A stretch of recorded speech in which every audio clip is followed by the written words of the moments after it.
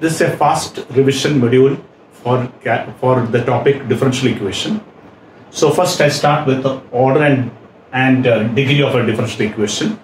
So let's imagine have an equation d square y by dx square plus uh, x dy by dx plus y equal to 0.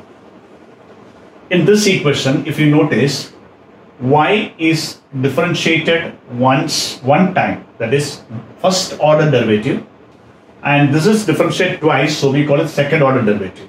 So the highest number of times y differentiated in this particular equation is 2, hence order of this differential equation is 2.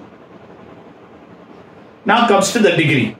You know that if I write an equation of this kind, the degree of this equation is 2. So degree always talks about the power. Power of what? In a polynomial, degree is the power of x.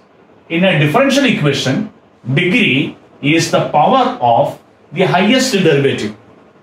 But when you calculate the power of the highest derivative, the equation should not contain any radical or negative powers.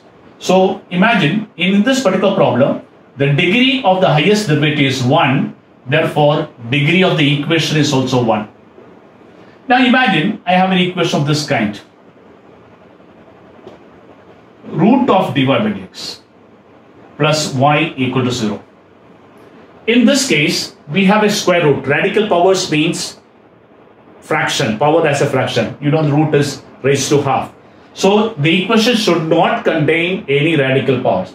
So I will write this equation in this manner it will be minus d square y by dx square plus y. Now to remove the square root, naturally I have to square both the side. So it will become x square dy by dx is equal to when I square this negative will go away. So d square y by dx square plus y the whole square. Now you can see the degree of this equation. When I expand this, the degree of d square y by dx square will be 2. Hence the degree of this whole equation is 2. Hence this equation has order 2 and degree 2. So whenever we calculate the degree, it is very essential that the equation should not contain any radical power or negative power. Another example, let's say I have an equation d square y by dx square is equal to 1 upon d square y by dx square plus y. Now you can see that this is a negative power. So in while calculating the degree of the differential equation, we should not have any negative power. So what should I do? I should first take the LCM. So when I take the LCM, I get d square y by dx square, the whole square, is equal to 1 plus y d square y by dx square. Now the highest order of this particular derivative is 2. Order of this derivative is 2. Therefore the order of the whole equation is also 2 and the highest power of the highest order is 2 therefore degree is also 2 so that is how you calculate order and degree. This is one of the most important question for mcq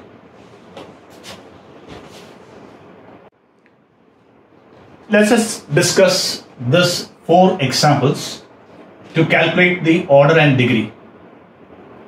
First one we see a cube root here. So we need to remove the cube root. We see a cube root over here also. Hence, I need to cube both the side. So when I cube both the side, this will become 5 plus d square y by dx square, the whole square equal to cube root and cube will get cancelled. So now you can easily say what is the order? Highest derivative is second derivative here. Therefore order is 2 and the power of highest derivative is square so the degree is 2 so order is 2 and degree is also 2 now look at the next one here the radical power is 1 by 5 you need to remove this 1 by 5 naturally this 1 by 5 can be removed by taking raised to 5 on both the side so now we can say what is order order of course is 2 and degree is 5 so order is 2 and degree is 5. So we have removed all the radical powers by taking whole raised to 5 on both the side. Therefore order 2 and degree 5. Now let's have a look at that one. We don't have to bother about the square root of x. We need to only bother about the radical powers for the derivatives. So how will you remove that? We will take this to the next left hand side.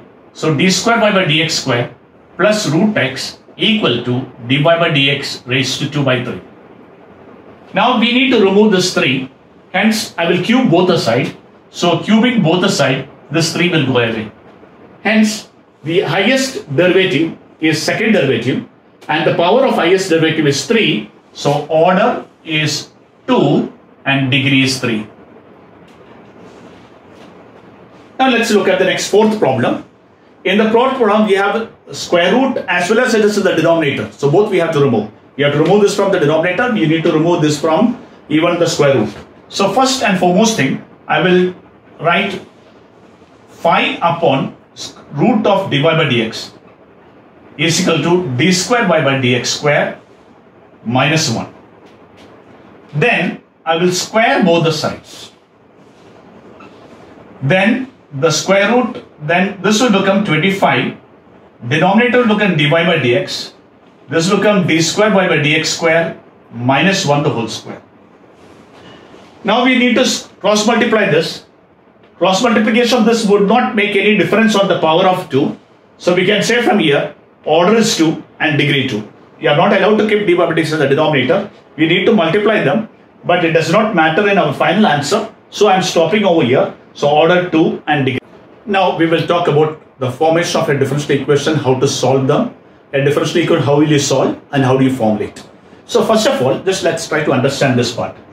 If I get d square by dx square equal to x, finding out what is y from this is called the solution of a differential equation.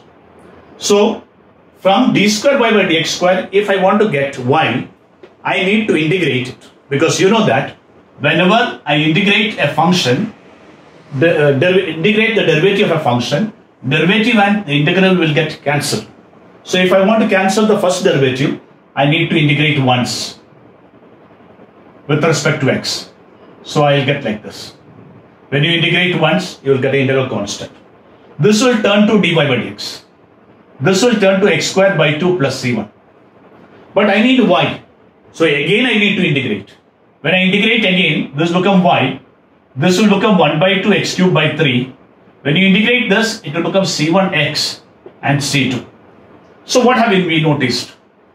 When I solve a second order differential equation, I get two constants. So depending on the order of the differential equation, we come to know how many constants are there. This is called the solution and this is called the differential equation. So if the solution has got two constant, naturally it will be a differential equation of order 2. So imagine I have a solution as ax cube plus bx square plus cx plus d. How many arbitrary constants, how many integral constants are there? The name of integral constant is named arbitrary constant. There are three arbitrary constants here, four arbitrary constants here. Naturally, this is a solution of a differential equation of order 4. That means the highest derivative that will be present in this will be of the fourth, fourth order. So, naturally, this is a differential equation solution whose order will be 4. So, the number of arbitrary constants will tell you it is order it is a solution of which order differential equation. Now, so I can say like this. If I want to make solve a differential equation, if I want to solve a differential equation or okay, if I want to formulate a differential equation, what should I do? Imagine I have a solution like this and I want to find out what is the differential equation, whose solution is this. First, I will count the arbitrary constants. How many arbitrary constants are there? Two are there. Hence, I will differentiate two times and this A and B should not be present in my answer. So if I do in this problem, first derivative, I will get A into 1 plus B will become derivative become 0. And when second derivative when I do, I get 0. I am allowed to differentiate two times because there are two arbitrary constants. So I can say this is, is a solution of this differential equation. Suppose I had, instead of this, y a x square plus b, b or bx or anything, let's say. So in this case, if I do the same process of two time derivative, I'll get a into 2x plus 0 and second time when I differentiate I will get 2a. Now I am not allowed to differentiate one more one more time because there are only two arbitrary constants. So if I differentiate third time I'll get a third degree but third this cannot be a solution of third degree differential equation. So I need to eliminate this a from it. What I'll do is from this equation 1 I can say a is 1 upon 2x divided by dx. So now I will replace a back here. So d square y by dx square is 2 times 1 upon 2x into dy by dx. So 2 and 2 will get cancelled.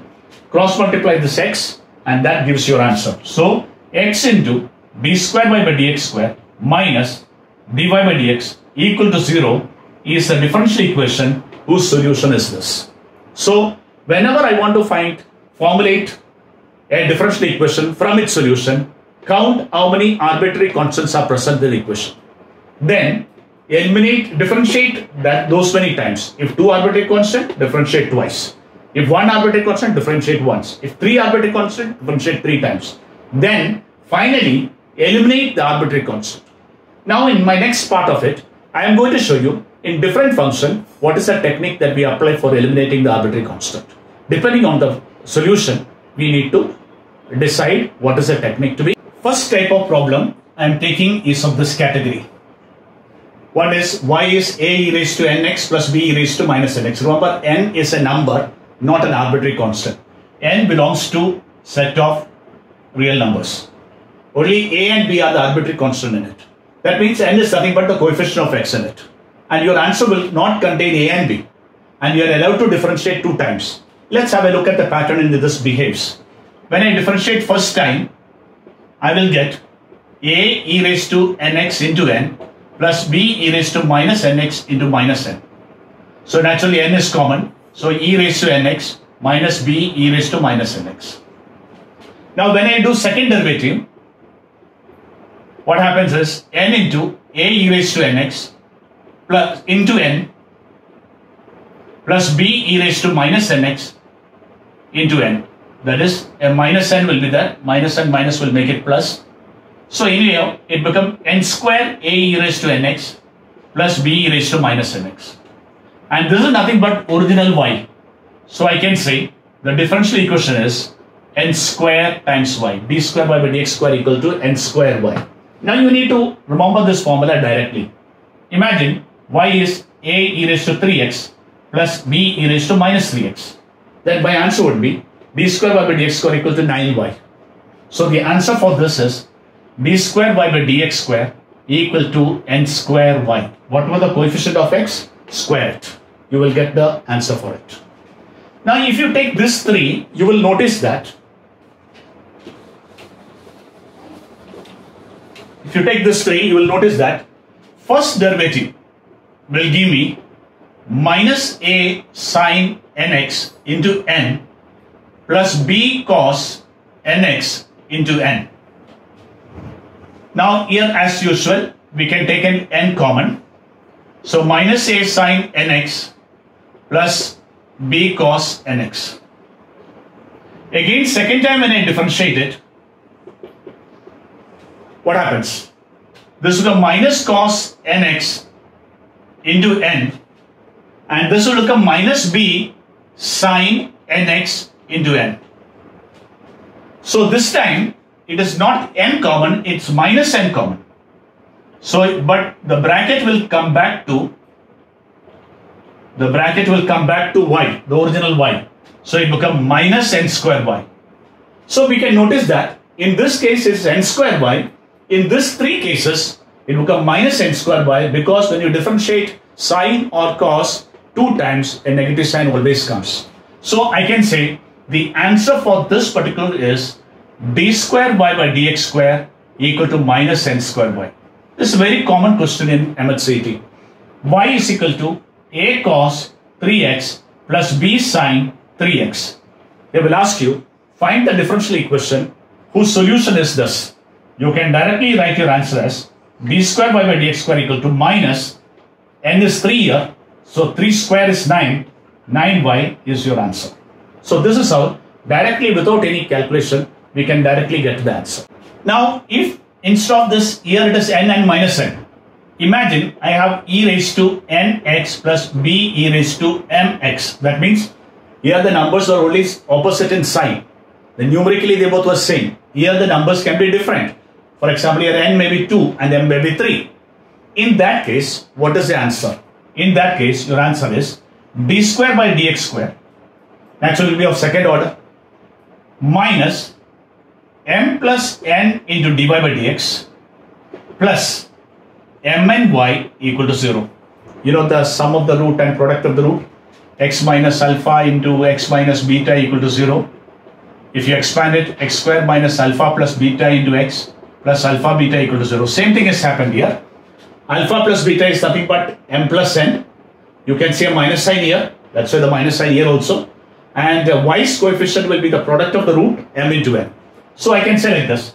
If the equation solution is e raised to 2x plus b e raised to 3x, then the differential equation of this will be d square y by dx square minus add both 5 into dy by dx plus product of 2 and 3 6 y equal to 0. This can be applied directly.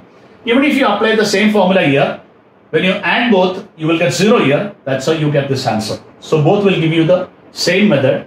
Always you will notice that this will be the product.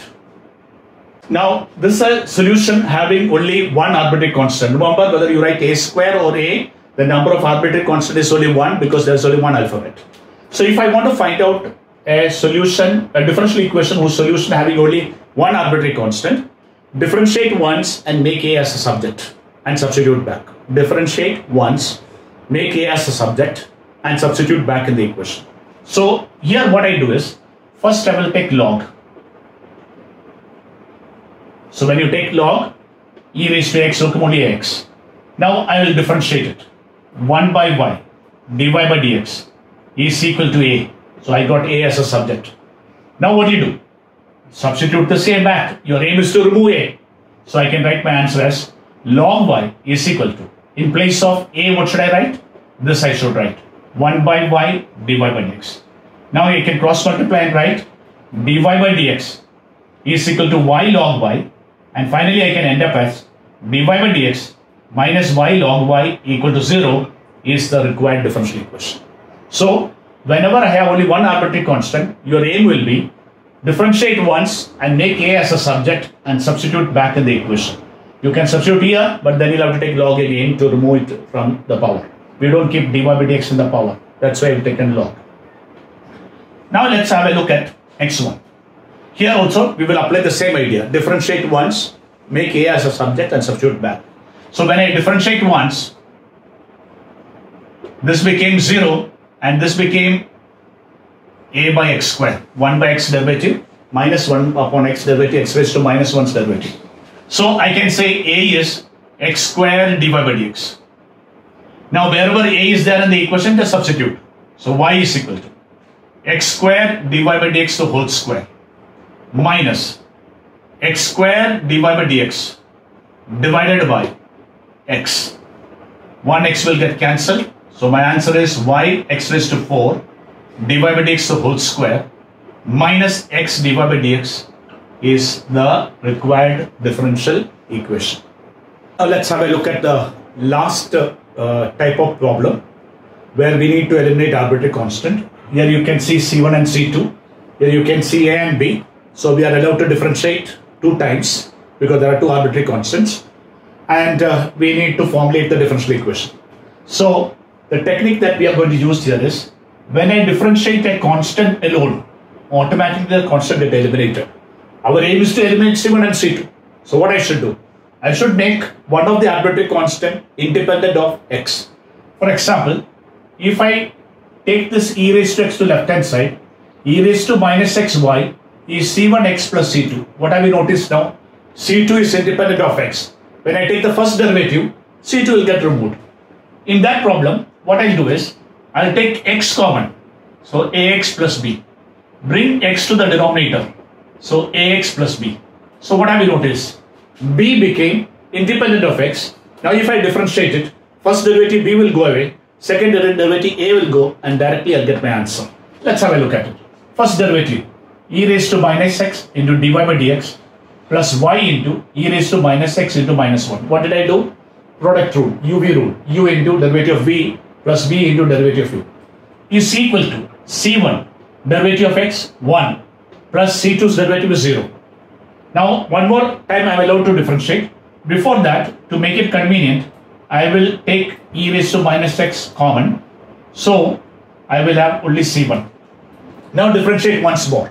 When you differentiate again product rule e raised to minus x derivative of this second derivative minus dy by dx plus dy by dx minus y into derivative of e raised to minus x. e raised to minus x into minus 1 is equal to derivative of c1 0 so e raised to minus x is again common.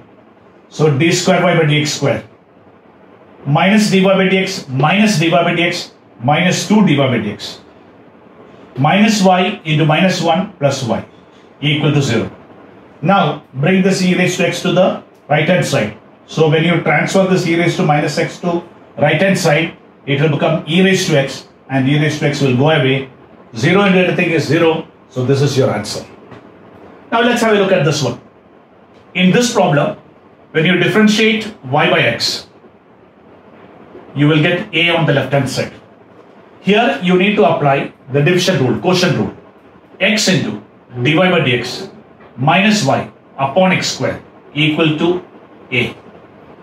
So the derivative, when I differentiated first time, b went away. When I differentiated ax, I got a. So derivative of u by v applied. Do not cross multiply. If you cross multiply, what will happen? a will not be independent of x. Differentiate is as it is, u by v.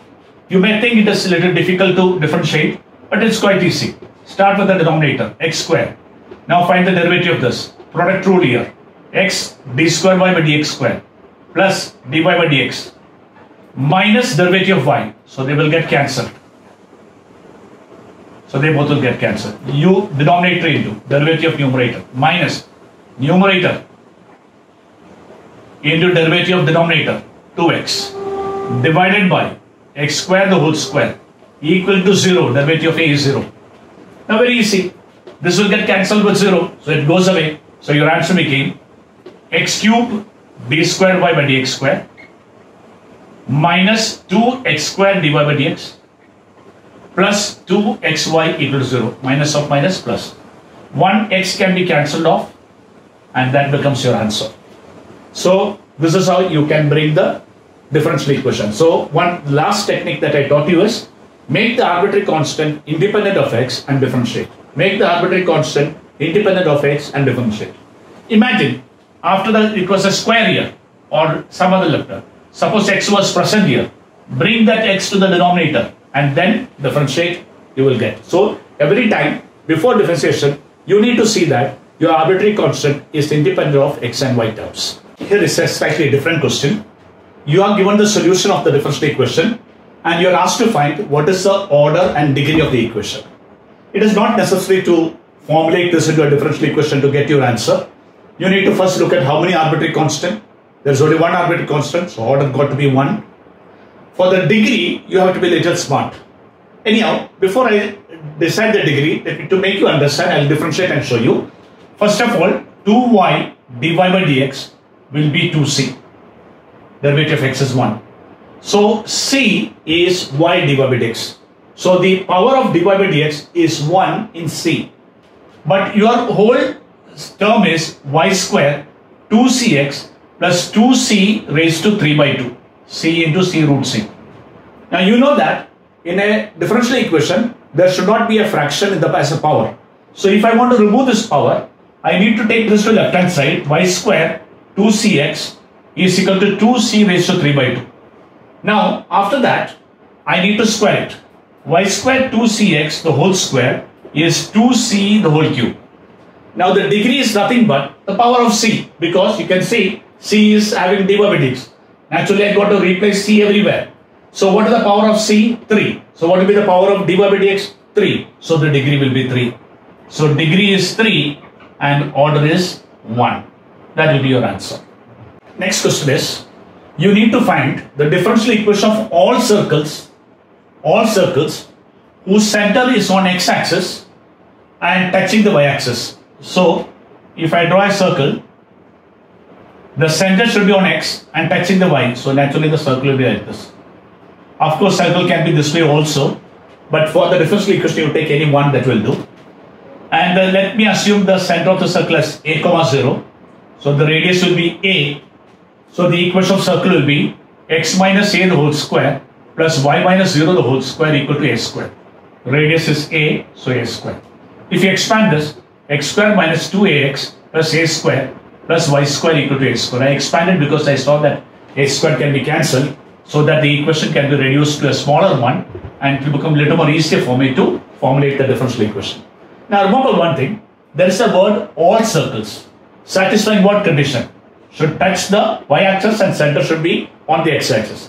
How can I get all circles? By varying a. Put a as 1, you'll get one circle. a as 2, another circle. By changing the value of a, you will get all the circles satisfying this two condition. Therefore, a is the arbitrary constant. So what is arbitrary constant? The alphabet which should vary to satisfy the condition all. Then we can come to know that is the one which is an arbitrary constant. For example, if, I, if the question was find the equation of circle whose center is 2 comma 3, radius is r. Now radius has to vary, the center will remain the same, so r will become the arbitrary constant. So you have to every time ask what alphabet should vary to make it all satisfied. So here A should vary. So how many arbitrary constants are there? Only one. If there is only one arbitrary constant, what is the method? Differentiate one, make A as a subject and substitute back. So differentiate one, 2x minus 2a plus 2y divided by dx equal to 0. So 2 cancel off everywhere that is divided throughout with the 2. So a is equal to x plus y divided by dx. Now what to do? Substitute this back in this equation. So x square minus 2 into x plus y divided by dx plus y square equal to 0. Open this bracket. Whatever the answer that you get is your final answer. There's an x here. 2x into a. In place of a, we have to substitute this. So 2x square and x square will get cancelled and so you can simplify further. Find the differential, find the order of the differential equation. You need to only find the order. Order of the differential equation of the parabola. Instead of order, let me write degree. Degree will be better. Order, of course, we'll tell you later.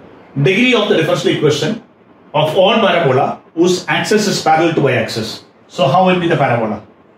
Axis should be parallel to y-axis. So the parabola will be like this. So I can say the vertex will be h comma k. Then the latus rectum that will also vary. So you can as the latus rectum varies, you will get different different parabola. Vertex will be the same one. So the form you know that this parabola's equation is x square equal to 4ay. So this one will be x minus h the whole square is equal to 4a into y minus k. So I can say if I expand this equation, there will be an x square term, there will be an x term and remaining constant. So it will be of the form y is equal to ax square plus bx plus c. There are three arbitrary constants here, h, k and a. If you vary the vertex, you will get different parabola. If you vary a, you will get different parabola. Hence, it has got how many arbitrary constants if I expand it? I'll have h in it, k in it, a in it, and the equation will be of this format. So what's my conclusion? There are three arbitrary constants, hence order of this differential degree of this order of this differential equation would be 3. Now degree how to get? You need to solve this. So first derivative dy by dx is equal to a into 2x plus b. That is the first derivative is over. We are allowed to differentiate three times because there are three arbitrary constants. When you differentiate second time, you will get 2a. And when you differentiate third time, you will get 0. So automatically I get the differential equation. Differential equation of this parabola will be d cube y by dx cube d3y by dx3 equal to 0. Hence order is 3 and degree is 1. So order and degree can be calculated. Order you could have said before only. This will be a third order and uh, degree of course we may have to do sometime but still the powers are 1 here. So degree is 1 it's obvious.